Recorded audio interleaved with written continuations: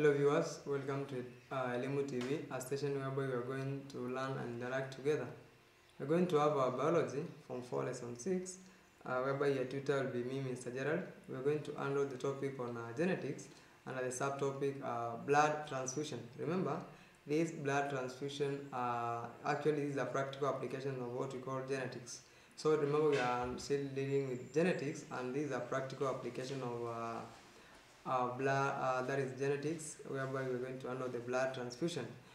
But before that uh, you are required to have the less following lesson goal whereby by the end of the lesson you should be able to identify two practical applications of genetics. Remember that uh, there are some uh, sick individuals in our hospitals which need to uh, blood to be transfused either due to uh, either are hemophiliacs or are anemic so they have to uh, they have to be given some blood and this um, whoever is giving the blood is going to use the knowledge of uh, genetics. So we are saying uh, knowledge of blood groups finds great application during blood transfusion. For uh, to ensure compatibility of donor and recipient groups blood typing is done before the transfusion. During blood typing a qualified person tests uh, for both a b o and Rh uh, antigens. Uh, remember, we have got four types of blood groups, whereby we have got blood group A, we have got uh, blood group B, we have got blood group AB, and we have got uh, blood group um, O. Uh, normally, uh, blood group uh, O, this one is referred to as a universal donor, and blood group AB is referred to as a universal recipient. That is to mean they can receive blood from all blood groups. And for the blood group O they can donate blood to, uh, to all the blood groups. That's why they are referred to as uh, universal donors.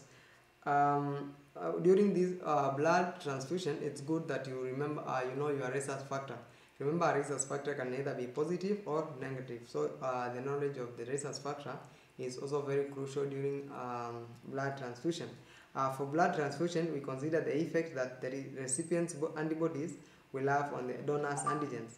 Antibodies from the donor will be so diluted that they will not have much effect on the red blood cells of the recipient.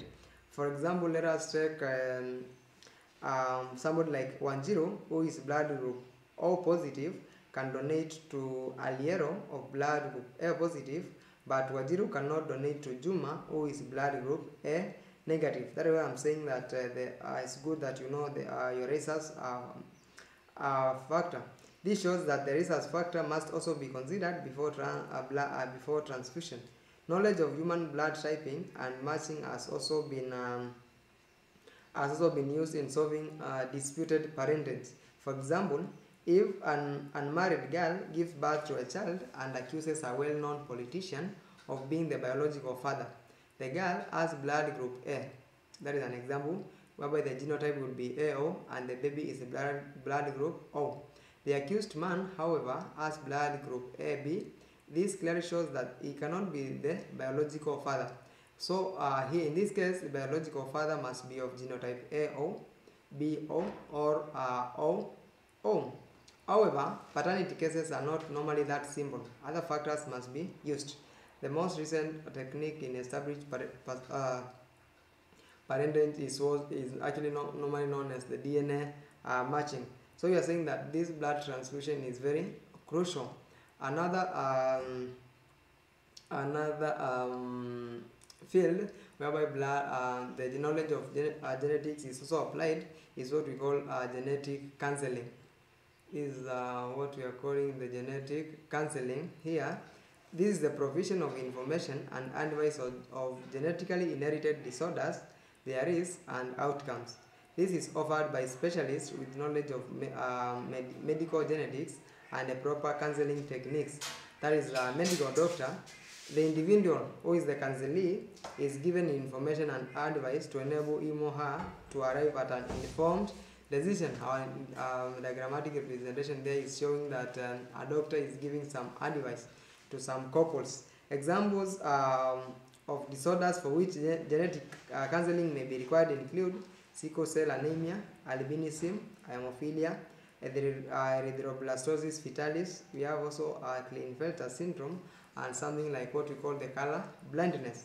The first step in genetic counseling is making diagnosis to establish the nature of the disorder. Uh, that is the disorder, sorry. Um, the steps may include one, physical examination, e.g., lack of breast in the Turner syndrome. The laboratory test, e.g., blood test. We have what we call like, um, amniocentesis for chromosomal abnormalities. Family history may be used to determine possible inheritance of the disorder and genetic screening of the defective gene in the population. Having done and said that, uh, we are going to have the following activity whereby you are required to identify the risk circumstances under which genetic counseling is required. Uh, for this, um, for more of these biology lessons, you can refer to KLB, Secondary Biology Student Book 4, which is the 4th edition Kenya Literature Bureau. And to get this biology lesson and many more of our lessons, you can send us an SMS through the number that is on our screen, or you subscribe to our YouTube channel, which is Elimu TV, or our Facebook page, which is also Elimu TV, or you tweet us at Elimu TV underscore Kenya. Let us subscribe to all this channel, and we shall enjoy more, uh, most of our, um, our biology lessons. Thank you.